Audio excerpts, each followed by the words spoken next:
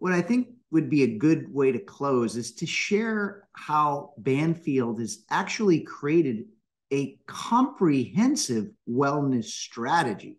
We probably started this journey maybe back 2016, 17. Um, and we started with defining what health and well being means for our organization.